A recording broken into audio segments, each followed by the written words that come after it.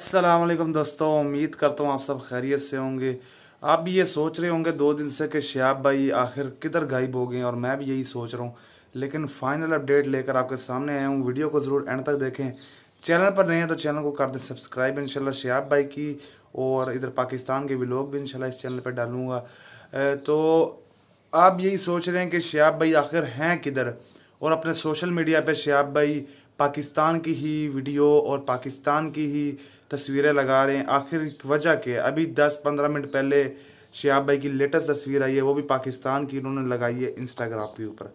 आखिर वजह क्या है? शियाब भाई आखिर हैं किधर? तो आपको बता दें कि शियाब भाई पाकिस्तान आए थे तो उनका सिर्फ़ दो दिन का स्टे था। दो दिन के बाद उनकी यहाँ से फ़्लाइट थी ईरान की, ठीक है? आप भी ये समझ सकते हैं क्योंकि सब जो यूट्यूबर बना रहे हैं मैं पाकिस्तान से हूँ मुझे पता है।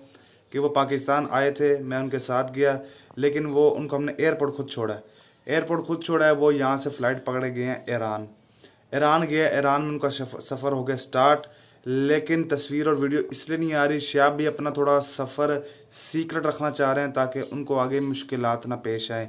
आगे उन्होंने इराक वगैरह कुवैत वगैरह सऊदिया वाट जहाँ भी जाना है।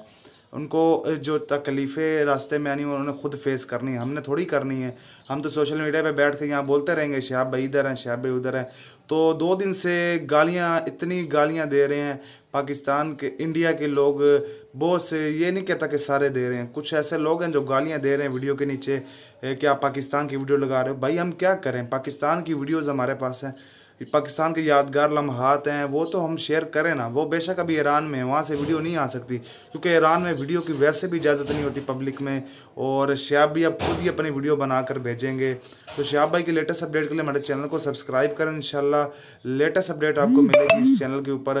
तो श्याब भाई का मैंने आपको जैसे बताया कि वो ईरान इस वक्त पहुँच चुके हैं, बिल्कुल खैरियत में हैं वो। और अल्लाह इंशाल्लाह, अल्लाह ताला उनका सफ़र आसान फरमाएगा। इन उम्मीदें हमारी है हमारा भी प्लान है इंशाल्लाह जाने का। पासपोर्ट मेरा बनने दिया हुआ इंशाल्लाह दो दिन में पासपोर्ट भी आ जाएगा मेरे पास। फिर इंशाल्लाह हम भी तैयारी करेंगे श्याब भाई की कवरेज के लिए जाएँगे पीछे और इसी चैनल पर आपको श्याब भाई की कवरेज दिखाई जाएगी इंशाल्लाह। मिलते हैं इंशाल्लाह नेक्स्ट वीडियो में, तब तक के लिए दुआओं में ख्याल दुआओं में याद रखना इंशाल्लाह। मिलते हैं नेक्स्ट वीडियो में, तब तक के लिए अल्लाह हाफिज़।